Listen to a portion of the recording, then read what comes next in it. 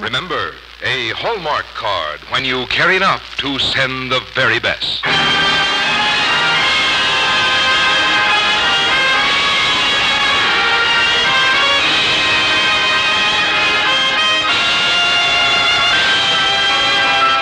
Tonight from Hollywood, the makers of Hallmark greeting cards bring you Alfred Leland Crabb's Home to the Hermitage, starring Burgess Meredith on the Hallmark Playhouse.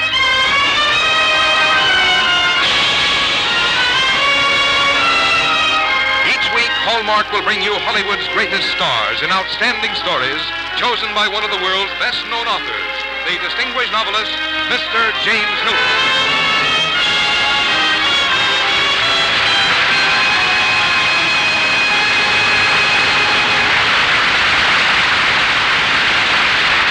Good evening, ladies and gentlemen. This is James Hilton.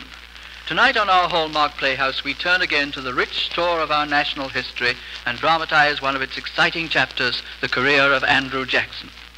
With Alfred Leland Crabb's fine book, Home to the Hermitage, as our source, we shall tell the life story and also the love story of a soldier who became a president, America's seventh president, as a matter of fact.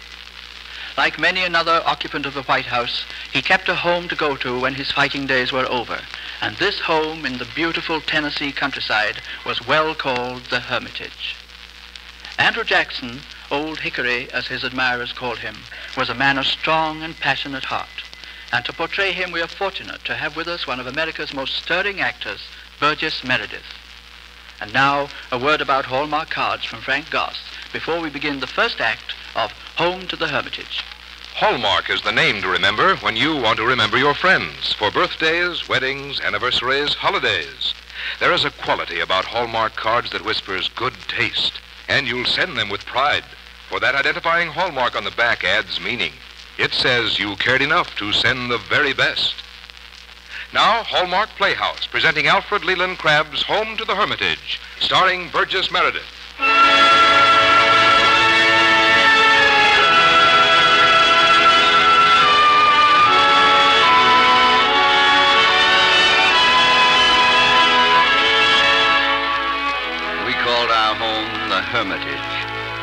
Love dwelt behind its gates, and peace and sanctuary for the searching heart. We loved the Hermitage, and we loved each other deeply, and yet there was this deep core of difference between us. I could leave the Hermitage, content to know it was there, waiting for my return and enter the world, but to Rachel, the Hermitage was the world.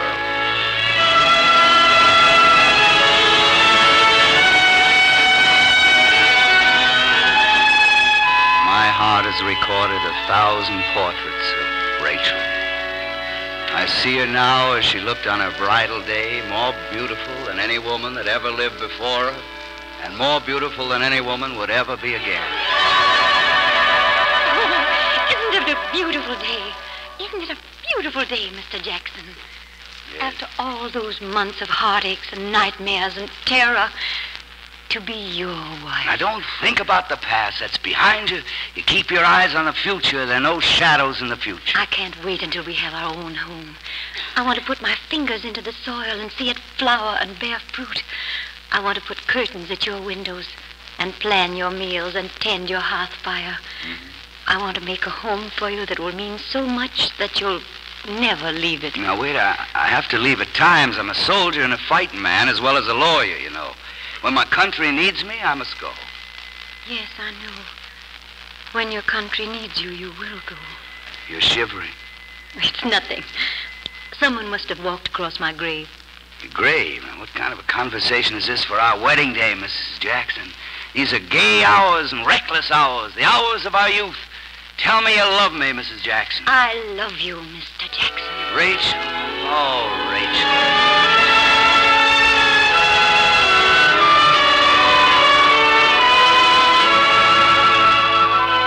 October of 1791, I took Rachel to the land I'd bought in the Cumberland country. And the autumn fires of goldenrod burned low by the roadside, and the trees were a glory of russet and scarlet against a blue, blue sky. And she stood in the shaft of sunlight looking up at them. She's a woman turned to gold. And the words she spoke gave meaning to the day and to my lifetime. Oh, my husband. We're home. We're home. We're home.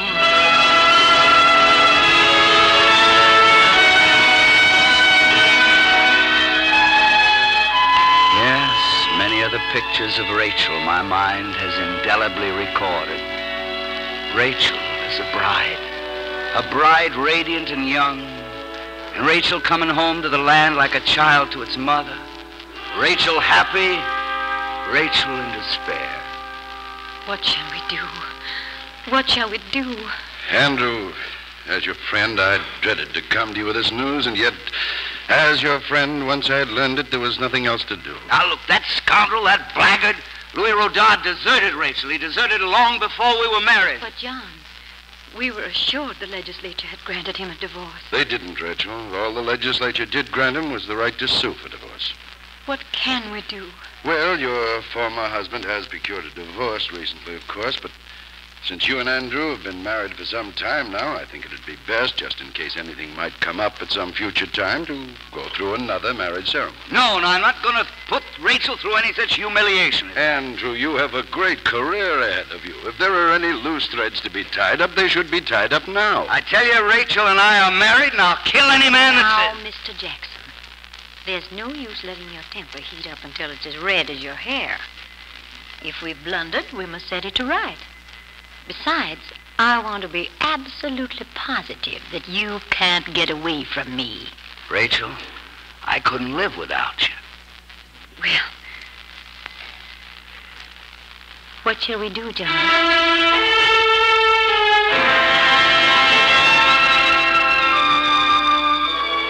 All the years of our life together, she had only to put her hand on my arm and say my name in her own soft manner, and she had her way with me. And so we married again. And those whom the Lord hath joined, let no man put asunder.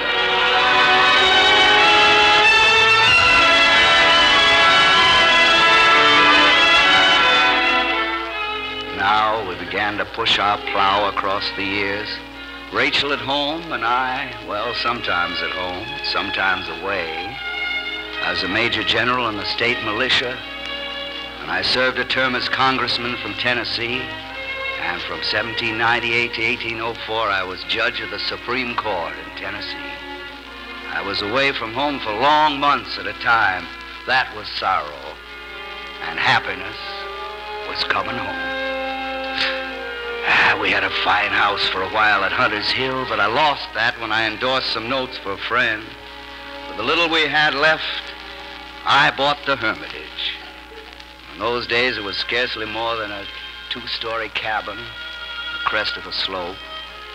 It was sunset when Rachel first saw it. I looked at her face and I saw a radiance I'd never seen before.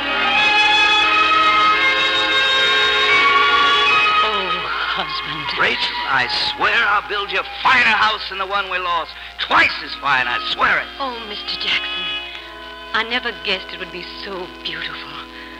I want to live here all the days of my life. I want to live here. I thought the other house was home, but it wasn't. Mr. Jackson, when you brought me here today, you brought me home to the hermitage. Here shall I live and die and love you eternally.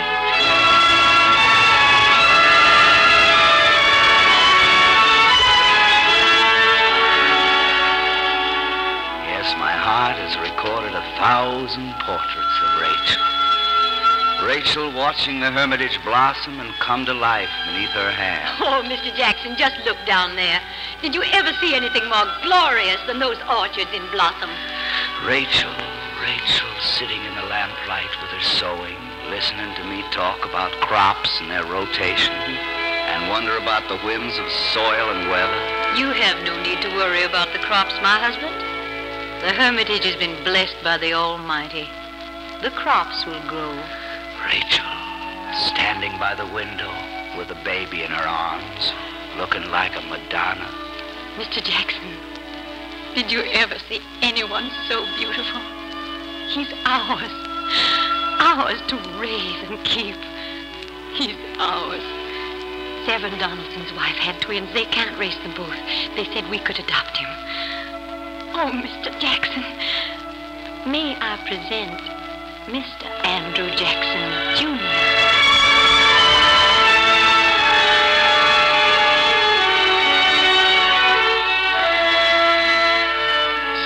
Sometimes I think I have no memories except my memories of Rachel. And then other sounds and voices fill my ears. The war drums marching feet, guttural dying screams of the Creek Indian the Seminole, and the deep mourning silence of the forest when their screams were stilled.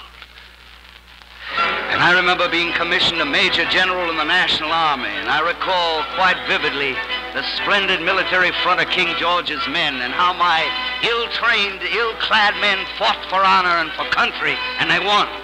And I remember how as we marched toward home in weary camaraderie, those men of mine gave me a new name.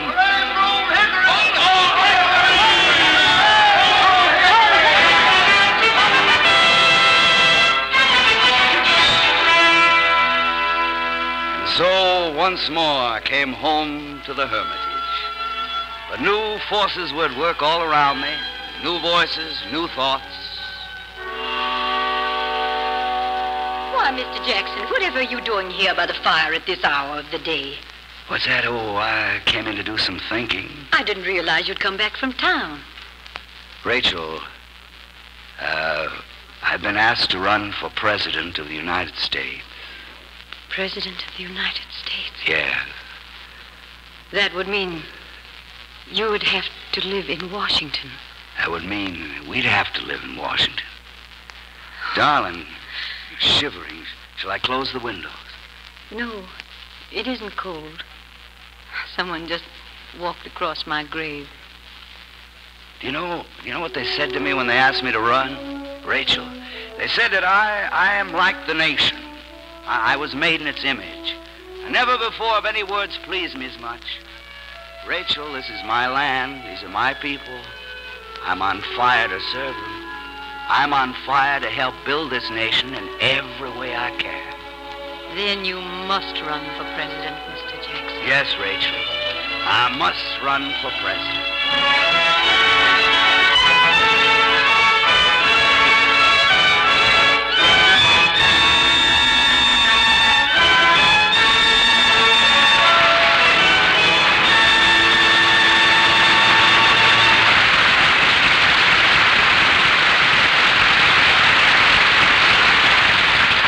Just a moment, we'll return to the second act of Home to the Hermitage, starring Burgess Meredith. Here's a little game to try with your friends. Next time a group of you are together, ask this question. Ask what name they think of in greeting cards when they want to send the very best. I've tried this with my friends with different groups, and they've always given the same answer Hallmark cards. You see, greeting cards are a purchase that people really think about and consider carefully, and for an interesting reason. You buy greeting cards only to send to others, never for yourself. So naturally, you want the finest. And above all, you want the words on each greeting card to express you to others. Words so sincere they will comfort a friend in sorrow. Words so gay and amusing they will bring cheer into a hospital room. Words so well chosen for every occasion they will make friends and keep friends and bring loved ones closer. And through the years, people have found just such words of strength and courage and friendliness and sympathy on Hallmark cards. They've found there is always a Hallmark card to say just what you want to say, the way you want to say it.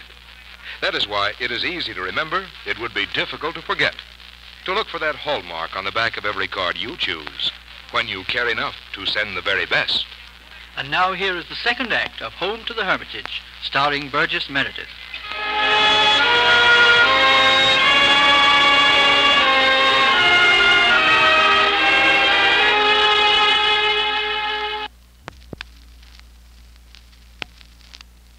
Thousand portraits of Rachel. I remember her face during those days as she stood listening to the crowds at the political gatherings. She looked almost frightened.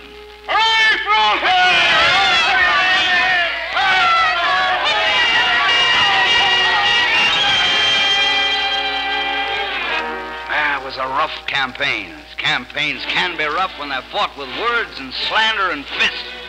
It was a rough campaign and I lost. Four years later, I threw my hat right back in the ring again and I climbed in after it. This time, no one was going to lick me. I didn't realize to what lengths my opponents would go until I stood on the fringe of a crowd one day listening to a man talk while my own blood raged within me and my hands ached to kill. Andrew Jackson's nothing but a homebreaker. He wants to be elected president so he can court as many wives of other men as he wants to. And how long did he live with his wife out of wedlock before he married her the second time? I tell you, he comes from plain trash. His father was lowborn and shiftless. The good people of the neighborhood wouldn't even treat him.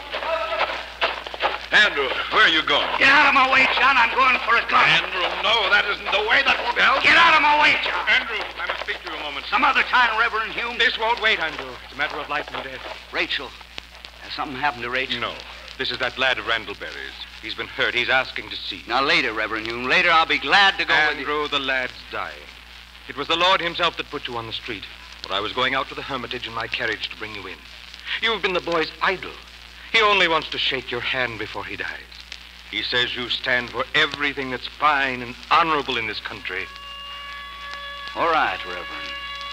I'll go with you. You say the Lord himself put me on the street? I think perhaps the Lord put you on the street and sent you after me. I'll go with you.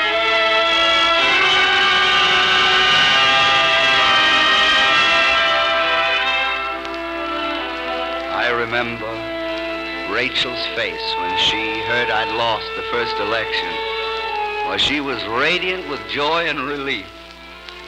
And I remember her face four years later when I told her I'd been elected President United States. For one fleeting moment before she had control of herself, she looked as though she'd been dealt a mortal blow. But then her head went back and she smiled. She was magnificent. Mr. Jackson, I'm very proud of you. Yes, my heart has recorded a thousand portraits. I remember her face the night I found her sobbing downstairs.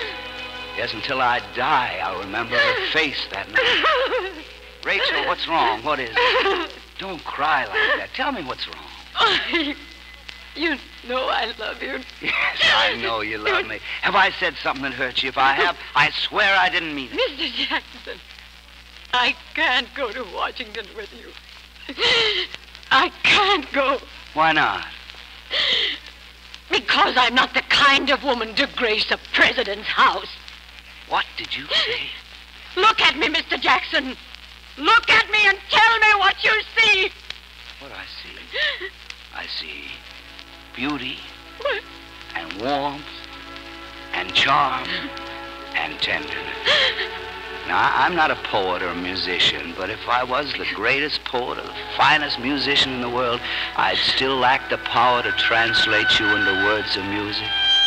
I see in you everything a man dreams and prays to find in a woman, and that's all I live for. Every man alive must envy me, for I found beauty and I married her, and I kept her for my wife. Oh, my dear. My dear. You have no idea at all what I really look like, have you? You look as I've described you. Today, I was in Mr. Backus's shop in Nashville. I was in the back. The ladies were in a fitting room. They didn't know I was there. They said, one of them said, Yes. I do hope he won't take that woman to the White House with him. It's bad enough to have him there, but her. And another lady said, I understand she's a good hand in the kitchen. And someone else said, if he's got good sense, he'll leave her in the kitchen. That's where she belongs. Dirty, malicious, fork-tongued lion. Don't, Mr. Jackson.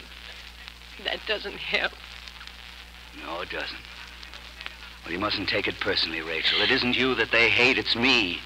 Those women are probably married to men who opposed me in the election. You must come to Washington with me. Rachel, I couldn't live there without you. I'm afraid you must, Mr. Jackson. Why? Oh, it's cold in here. Mr. Jackson, someone's walking across my grave.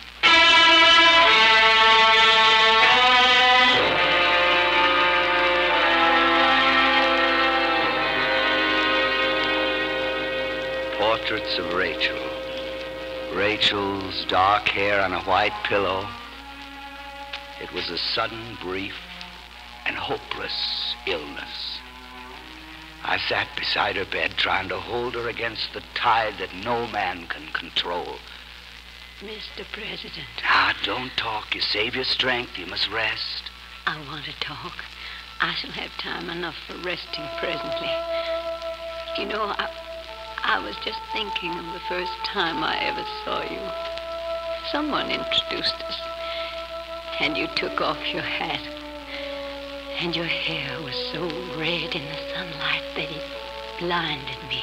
Yes, well, you see, it isn't red now. Some of the days you and I have lived through have been hard on red hair. Seems as though it was summer only a day or so ago. Promise me one thing that you'll keep the hermitage. Keep it just as we've kept it. Don't let strangers have it. We made it. We've lived here. It's ours. As long as I live, no one's ever going to have the hermitage, I promise you. I'll keep it just as you've kept it. The house and the fields and the gardens in order. Oh, yes. I shall be close by. I shall know. I'll never be far from the hermitage. Mr. Jackson, Rachel. Rachel. you're going to be a great president. How can I be great without you beside me? I shall be here, waiting at the hermitage. I'll wait here for you until the end of your life, Mr. Jackson. You have much to do. Much to do. Rachel. Rachel. Rachel!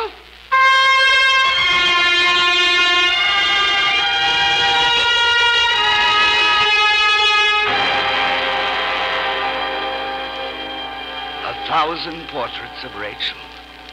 I don't know how the days passed after she left me. I didn't know when the morning came or the night. I only know that somehow I stumbled through them. That suddenly it was the last morning. It was time to go to Washington. Yes. Reverend Hume Cummings. I just stopped by to wish you well. They asked me to tell you that your coach is waiting. Oh, thank you. Thank you. Been writing some lines to leave out there with her. May I hear them? I wish you would. It's Mrs. Rachel Jackson. She died on December the 22nd, 1828.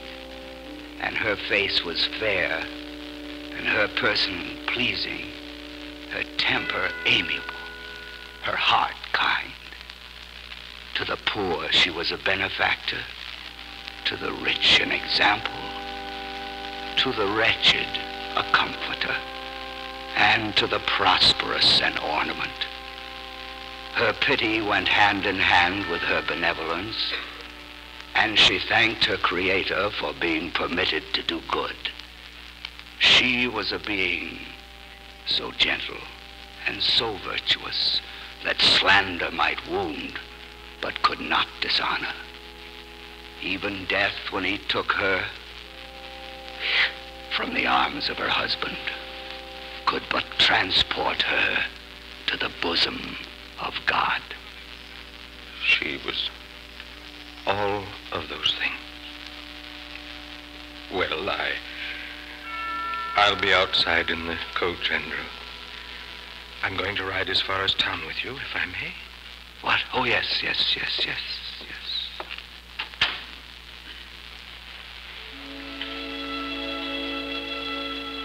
Rachel, I'm going now. A man must do the things he was meant to do. And personal heartache and grief must be put aside for the work at hand. Will you sleep peacefully while I'm gone until I come to wake you from your sleep? Until the day when no earth lies between us and I come home to you and home to the hermitage. We're waiting, Mr. President. Yes, I'm coming.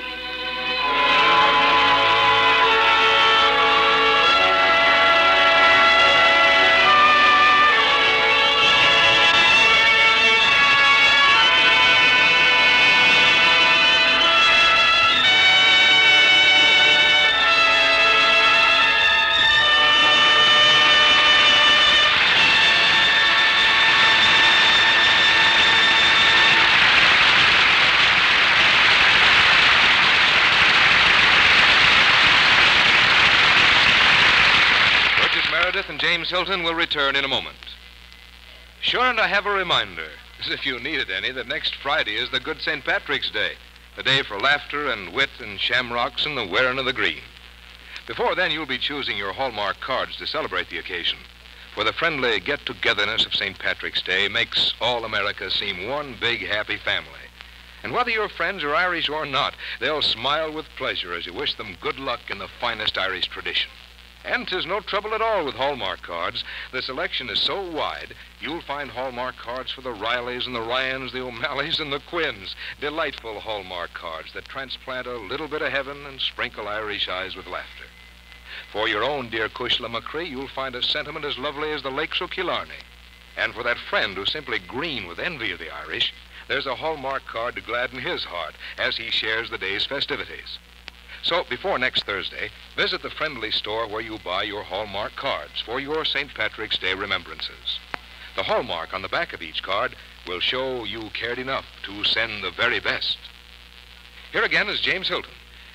You've made one of the great characters of history live for us, Burgess Meredith.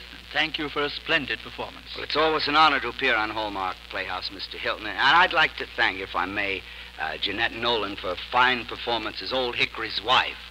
But I really, I enjoyed doing tonight's story very much. And we liked it too because, with all its emphasis on love of home and family, it also happens to be true. It's just the sort of story we like to find for Hallmark Playhouse. Well, I think that explains why your program always makes one feel somehow the richer for having heard it.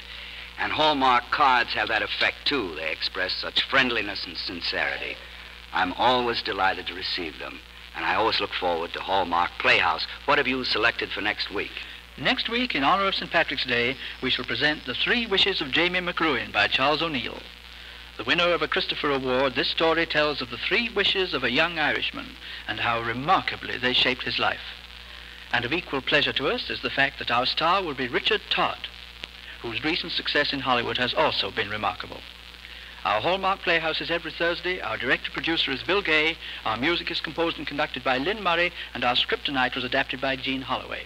Until next Thursday, then, this is James Hilton saying good night.